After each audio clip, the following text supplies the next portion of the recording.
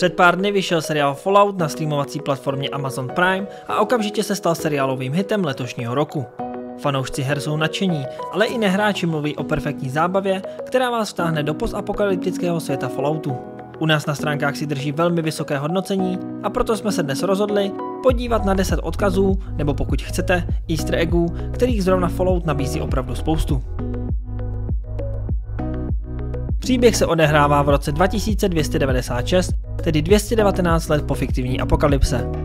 To nám nabízí zcela nové příběhy a postavy do světa, který přinesl už 9 videoher. V seriálu sledujeme Lucy, mladou ženu, jež strávila celý svůj život v podzemním bunkru po jaderné válce mezi USA a Čínou.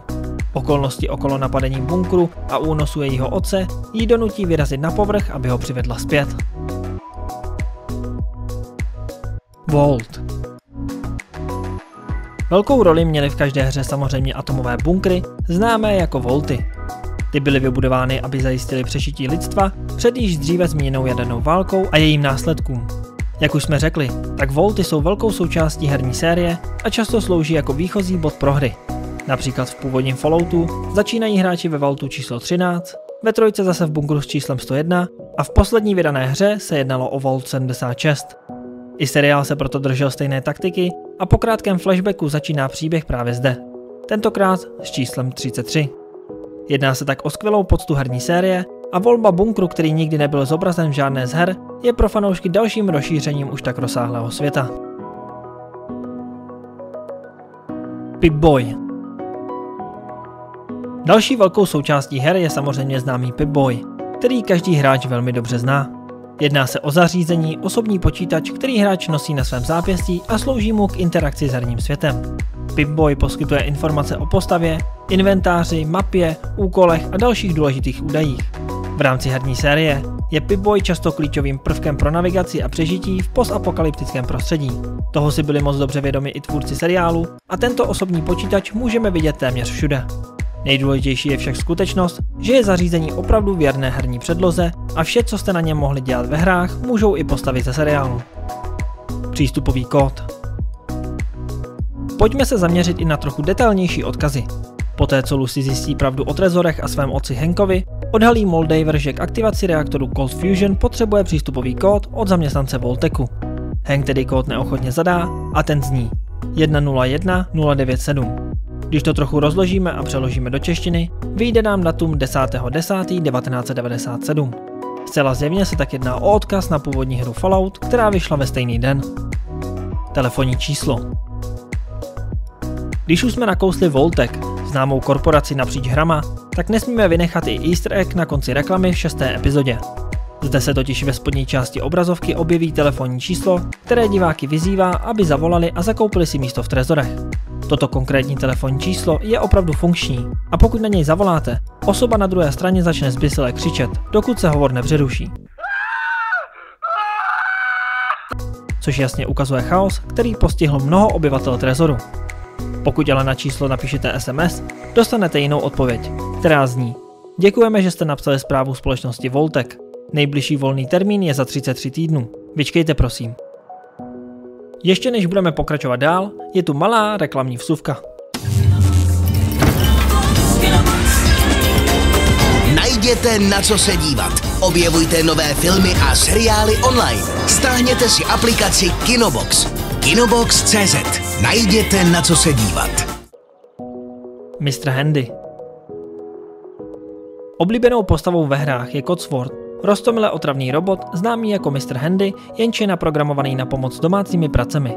Jedná se o komickou postavu a od svého prvního výskytu se stal oblíbencem fanoušků díky svému okouzlujícímu britskému přízvuku a zábavné zapomnětlivosti. V seriálu se však objevuje jeho zákeřná verze, která je naprogramovaná k odebírání orgánů. Přestože se jedná o ďábelské pojetí postavy, šílený robot sklízející orgány stále přichází se svým ikonickým britským přízvukem a odměřeným přístupem, díky čemu jsou jeho scény jedny z nejzábavnějších v celém seriálu. Palec Obrázek Voltboye, který dává palec nahoru, se stal ikonickým symbolem her Fallout a fanoušci série se často zajímali o jeho původ. V seriálu se tak tvůrci rozhodli divákům vyhovět a přišli se zajímavou myšlenkou, která perfektně zapadá do děje. Jedná se o scénu, kdy herec Cooper Howard pozuje pro reklamu na Voltek a dává dnes již ikonický palec nahoru. Hlubší význam se však dozvídáme už v úvodní scéně, kde Cooper vypráví své dceři o starém vojenském triku, kdy se po výbuchu bomby vystrčí palec. Říká se, že pokud je hřibovitý mrak menší než váš palec, utíkejte. Pokud je větší, pak nemá smysl utíkat. Voltboy Když už jsme nakousli toho Voltboye, tak musíme zmínit i známou figurku skývající se hlavou. Ve hrách se tyto figurky vyskytují po celé pustině a když je hráči seberou, získají speciální výhody. Takzvané Bubblehead jsou také velmi oblíbeným suvenýrem fanoušků her a někteří hráči Falloutu z nich mají dokonce velmi rozsáhlé sbírky. V seriálu se tato známá figurka objeví hned na začátku pilotního dílu, když se diváci seznamují s Voltem 33. Bubblehead se však objevují i v dalších epizodách, čímž pokračuje jejich popularita u fanoušků. Lékárnička Hráči Falloutu a vlastně všichni, kdo někdy hráli akční hry, vědí, že lékárničky dokáží vyléčit prakticky cokoliv. Fallout není výjimkou a v průběhu her lékárničky hráčům mnohokrát pomohly. Samozřejmě, abyste ji získali, musíte nejdříve do koupelny, kde se běžně vyskytují. Lékárničky dokáží vyléčit řadu neduhů, od střelných ran přes bodné rány, kousnutí a mnoho dalšího. Tohoto vtipného faktu se držel i seriál, kdy jsme hned v první epizodě mohli vidět, jak se zraněná Lucy po zásahu mačetou odebere do koupelny, kde nalezne potřebné lékařské potřeby a je náhle v pořádku. Bratrstvo ocely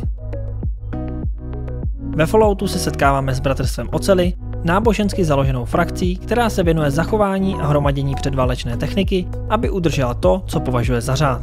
Jsou jednou z technologicky nejvyspělejších skupin v pustině a jsou známí svou děsivou vojenskou silou. Jednou z jejich nejmocnějších zbraní je samozřejmě silová zbroj, která je základním prvkem herní série a v průběhu historie měla několik různých podob. Silové brnění, které vidíme v seriálu, je však jednoznačně série T60, což je přímá narážka na hru Fallout 4 z roku 2015. Od té doby se silové brnění série T60 objevuje také ve hrách Fallout Shelter a Fallout 76. New Vegas Dnešní výběr easter eggů zakončíme závěrem seriálu. Ten končí tak, že Hank prochází pustinou a pak se náhle objeví panorama. Není to však jaké panorama, ale jedná se o New Vegas, dějiště populární spin z roku 2010. Pokud se tedy seriál vrátí i v další sezóně, a vše zatím nasvědčuje tomu, že ano, mohl by se potenciálně odehrávat v této divoké pekelné metropoli. Byl by to jistě další velký dárek pro fanoušky herní série, jelikož New Vegas je trvalé hodnoceno jako nejlepší hra ze série Fallout. Tohle bylo podle nás 10 nejzajímavějších easter eggů z nového seriálu Fallout. Je jich tam však mnohem více a proto budeme rádi, když nám do komentářů napíšete ty, kterých jste si všimli vy. Nezapomeňte si také stáhnout naši aplikaci a seriál rovnou ohodnotit. Děkujeme.